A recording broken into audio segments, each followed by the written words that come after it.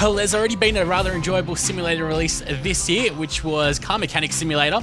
As you might not be able to tell, this game was also released this year. It's called Forklift 2014. It goes by a couple of different names and it's created by none other than my favorite game company, UIG, who also make the woodcutter games. So I'm sure most of you guys would have seen my woodcutter videos and the agricultural simulator, which they actually changed up the name of this year, but I didn't even play it because it's always the same old, same old with these guys. It's not really fun to play the game, it's more fun just to laugh at the game company that made the game. So, unbelievably, even by the title screen, it is very pixelated. We are playing on max graphical settings, and of course, we're back onto my old computer, unfortunately, because it didn't. My new computer wasn't reading all the RAM, and I had to get my motherboard, uh, put a RMA like a return thing in and oh it's just annoying. So we're back to my old computer but that is no problem because I've got everything up and running now. Anyways uh, I really should have read that but pretty much the main gist of this game is we're in a uh, shop right now supermarket and music should be going but our little car also makes a heck of a lot of noise as well. Um, there's a little section for trucks over there, which we can pick stuff up from. People walk through each other. This guy looks like uh, one of the characters from Team Fortress 2 if he actually dressed up correctly. Best thing is we can uh, drive over people as well. We can't say no to that. But this game is incredibly tedious. If you guys actually checked out uh, like the uh, screen before where you could choose what level you wanted to play, uh, it's very similar to Road Construction Simulator.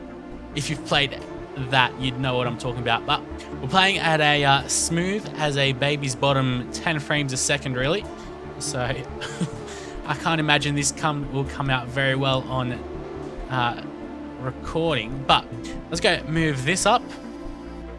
Supposedly you can uh, also tilt the fork backwards and forwards, but I don't seem to be able to do that. All I can do is uh, move it up and down. Maybe left and right as well. No, I can't even move it left and right. Just up and down. Can't tilt it. So that's a bit of a problem. But we should be okay. Can't look around all that much either. We've got four, I think, settings over here. It's an interesting looking vehicle, that's for certain. Must say I've never seen anything like this. This is more like a Costco supermarket. Whereas in Australia, we don't really have massive supermarkets. They're big, but I've heard stories from my grandma who uh, lived most of her life in Poland that people have like roller skates and stuff in supermarkets the workers do so they can get from uh, different places pretty quickly. I'm, I'm, sure it would have changed by now. I'm sure they have like some segways or something. But we need to head outside. I've got no idea how many times we've got to do this, uh, but it'll get tedious very, very quickly, which uh, I think is understandable though. And I'm not quite sure why do we need to put this box of whatever? Let me see it. It's Vino del Toro. I guess it's wine. And we're in Italy. Maybe it's a uh, Italian brand of wine. Okay, anyways. Uh, let's make sure we're still in the green box. Put things down. Drive back. At least the game recognizes that we've put things back properly. That's a positive. And now they're directing us to the next crate. Hopefully it's just like three or so because things really ain't changing that quickly. Well, we've got 17 minutes. I think it would be good. Well, you'd hope so, because I definitely don't want to retry this ever again, really. I'm only doing this for once in my life. Let's just drive over these people. People even walk through each other, which is interesting. And they all seem to strike the same pose. A very uh, ponderous pose at that. Alright, where is this? It's on the other side of the aisle. We even got some construction workers. It doesn't look like a very well finished uh, supermarket, we'll just say that. Concrete everywhere, really. Oh. Thankfully, there's no damage, really. I'm not sure what that's supposed to be. Some milk, the blue stuff. Uh, don't tell me I'm stuck. Oh. Oh, oh. There we go. Okay. Oh, God damn it. The control. Yeah, I also should mention that the uh, controls are rather abysmal. There we go. Now let's just reverse here. If I'm able to, no, drive forwards. reverse, forward, reverse. Ah, oh, come on, you can't be like this. Okay. Oh my god. Most frustrating game ever. I just want to bash my keyboard to be completely honest with you. I'll get there. How about we have a look at what the problem is? You can't even see what the bloody problem is. Like, you, you literally can't move the um, screen at all. There we go. I'm, I'm assuming that might have got us stuck a little bit more. I think if I press backspace, there we go. It's like they realized that this would happen in the game. So if you press backspace, it's like tilt on a um, pinball machine.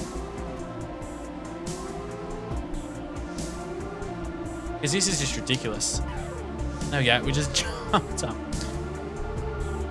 But yeah, it's uh, it kind of goes to show just what the uh, creators thought of the game if they're doing things like that, giving us ways to uh, jump out of pickly situations.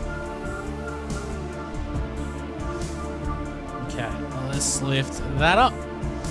Back outside we go. We th think we got to go to pretty much the exact same place we were at before. But yeah, unfortunately, I did. I'm still going to do that uh, computer vlog, etc., going through my computer and uh, just giving you an update on the channel, what's happening, because not much has really been happening, really. Uh, I've done, well, I've recorded most of Thief. I haven't finished it yet, but unfortunately, all of that's on my old computer.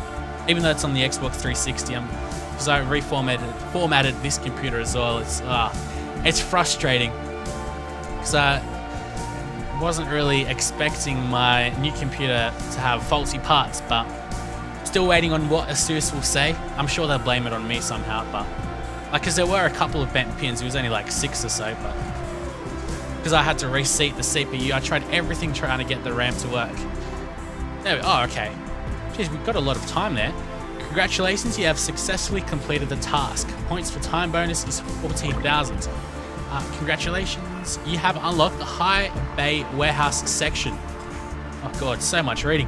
There are at the delivery entrance new pallets that have arrived. Within the specified time, bring the respective pallets to the locations. Yes, yes, we can't really damage stuff. Alright, so let's exit this. And... Okay, Highway Bay Warehouse. Production, let's see the last one. So obviously that's going to be the most interesting. Although it seems... Oh, that's it? It's just the port area and that's it. Okay. Uh, other options in the game, uh, time attack mode, free play mode. I'm sure we've got to unlock this. Yeah. Yeah, let's have a look at the uh, second thing then.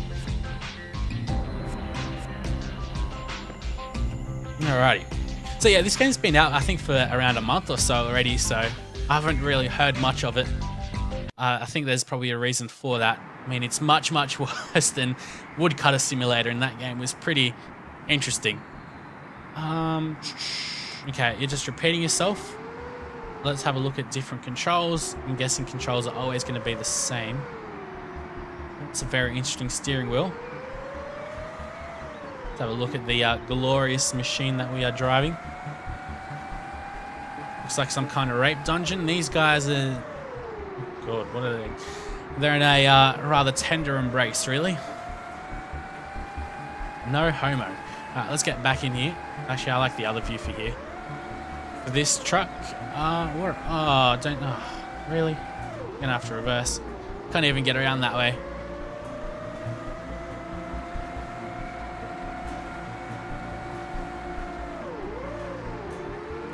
Let's bring the fork up.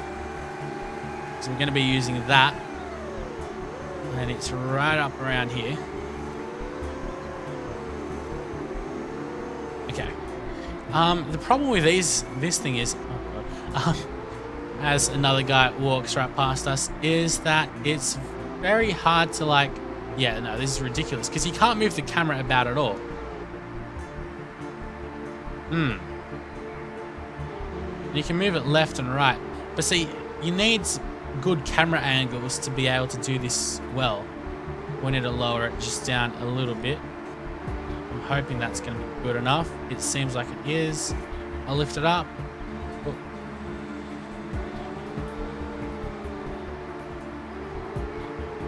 Okay. Which, no, I want to bring it closer to me. That. it. We'll lift it up then. No. Alright, this game is really starting to frustrate me. yeah, alright, I think I'll leave it at this, and I'm not going to continue this unless there's some massive demand for it, but for my sanity, it's been a rather tough month, really. Lots of things breaking, which I'll update you guys on, and uh, of course, new computer and all. So I'm not going to frustrate myself anymore. Don't want grey hairs at the age of, uh, ripe old age of 21. So until next time, guys, I'll see you later.